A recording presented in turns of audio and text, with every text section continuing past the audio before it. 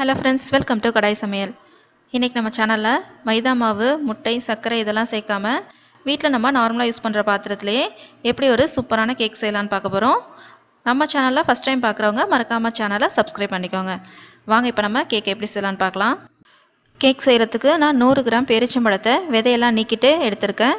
இப்போ இந்த பேரிச்சம்பழத்தில் இரநூறு எம்எல் அளவுக்கு நல்லா சூடான பாலை சேர்த்துக்கலாம். பால் சேர்த்துட்டு முப்பது நிமிஷம் போல் அப்படியே ஊற விட்டுறலாம். முப்பது நிமிஷத்துக்கு அப்புறம் இந்த பேரிச்சம்பழம் பாலை நல்லா ஊறி வந்திருக்கு. இப்போ இந்த பேரிச்சம்பழத்தை இந்த பாலோடையே மிக்சி ஜாடியில் சேர்த்து நல்லா நைஸாக அரைச்சி எடுத்துக்கலாம்.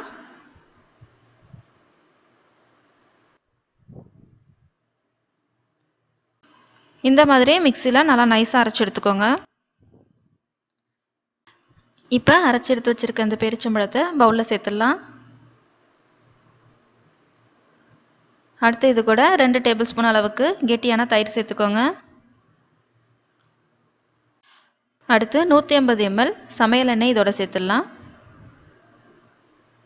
இப்போ எல்லாத்தையும் சேர்த்துட்டு இந்த மாதிரி விஸ்க் வச்சுட்டு நல்லா பீட் பண்ணிக்கோங்க. அரைச்சி எடுத்துக்கிட்ட பெரிச்சம்பழம் தயிர் இந்த எண்ணெய் எல்லாம் ஒன்றா சேர்ந்து கலந்து வர மாதிரி இதை நல்லா வேகமாக பீட் பண்ணிக்கோங்க. இப்போ பாருங்கள் இது நல்லா பீட் பண்ணதுக்கப்புறம் இந்த எண்ணெயோட சேர்ந்து இந்த மாதிரி ஒரு க்ரீமி டெக்ஸ்சருக்கு வந்துருச்சு.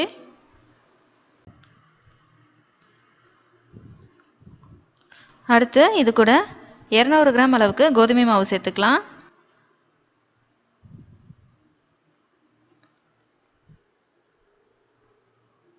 ஒரு டேபிள் ஸ்பூன் பேக்கிங் பவுடர்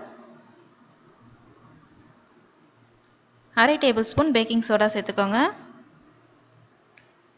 ஒரு பிஞ்ச் அளவுக்கு உப்பு சேர்த்துக்கலாம். இப்போ இந்த மாவு எல்லாத்தையும் சேர்த்துட்டு நல்லா சளிச்சு எடுத்துக்கோங்க. எந்த கட்டியும் இல்லாமல் இருந்தால் தான் கேக் நல்லா வரும்.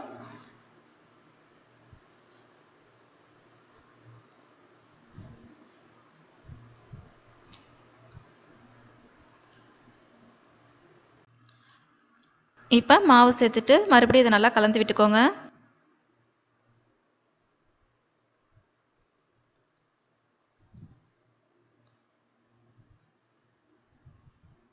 எந்த கட்டியும் இல்லாத மாதிரி இதை நல்லா கலந்து விட்டுக்கலாம்.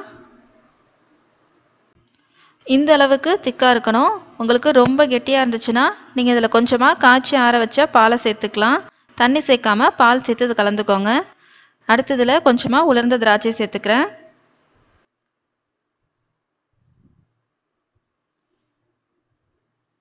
திராட்சை சேர்த்துட்டு இந்த மாதிரி நல்லா கலந்து விட்டுக்கலாம். கேக் செய்கிறதுக்கு இந்த மாதிரி அடிப்பக்கம் ஃப்ளாட்டாக இருக்க மாதிரி ஒரு பாத்திரம் எடுத்துக்கோங்க.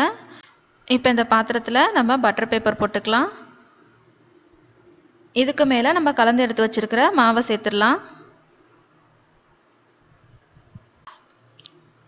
இதை செஞ்சிட்ருக்கப்பே நான் ஒரு அடிகனமான பாத்திரத்தில் இந்த மாதிரி ஒரு ஸ்டாண்ட் போட்டு பத்து நிமிஷம் இதை மூடி வச்சு ப்ரீஹீட் பண்ணி வச்சுருக்கேன். இந்த மாதிரி பாத்திரத்தில் தான் வைக்கணுங்கிறது இல்லை. உங்ககிட்ட நல்லா அடிகனமான கடாயோ இல்லை குக்கர்லேயோ கூட இந்த மாதிரி உள்ளார ஸ்டாண்ட் வச்சு மூடி போட்டு நீங்கள் வைக்கலாம். இப்போ இந்த மாவை செத்துட்டு இது நல்லா ரெண்டு தடவை தட்டி விட்டுக்கோங்க. மேலேயும் நான் உலர்ந்த திராட்சையை லேசாக தூவி விடுறேன்.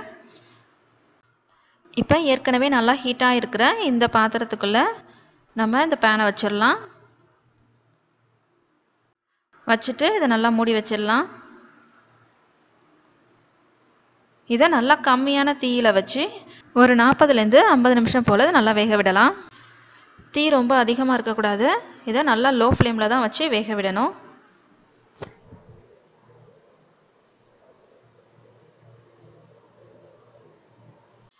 இப்போ இந்த கேக் வச்சு ஒரு நாற்பது நிமிஷம் ஆயிடுச்சு. நான் அதை ஓப்பன் பண்ணி பார்க்குறேன். இந்த கேக் வெந்திருக்கா இல்லையாங்கிறத பார்க்குறதுக்கு நடுவில் ஒரு சின்னதாக ஒரு கம்பியோ இல்லை கத்தியோ விட்டு பார்த்திங்கன்னா ஒட்டாமல் வரணும். இதில் லைட்டாக மாவு ஒட்டி வந்திருக்கு. இப்போ அதை மறுபடியும் மூடி வச்சு ஒரு அஞ்சு நிமிஷம் போல் வேக விடலாம். இப்போ அஞ்சு நிமிஷம் ஆயிடுச்சு. இதை ஓப்பன் பண்ணி பார்க்கலாம். இப்போ நல்லா ஒட்டாமல் கேக் நல்லா வெந்து வந்திருக்கு. நம்ம ஸ்டவ் ஆஃப் பண்ணிடலாம். கேக் வெளியில் எடுத்து வச்சுட்டு இதை நல்லா ஆற விடுங்க. இப்போ இது நல்லா ஆறிடுச்சு. ஆறினதுக்கப்புறம் இந்த மாதிரி சைட்ஸில் இதை எடுத்து விட்டுறலாம். ஒரு கத்தி வச்சுட்டு இந்த மாதிரி ஓரத்தில் இதை எடுத்து விடுங்க.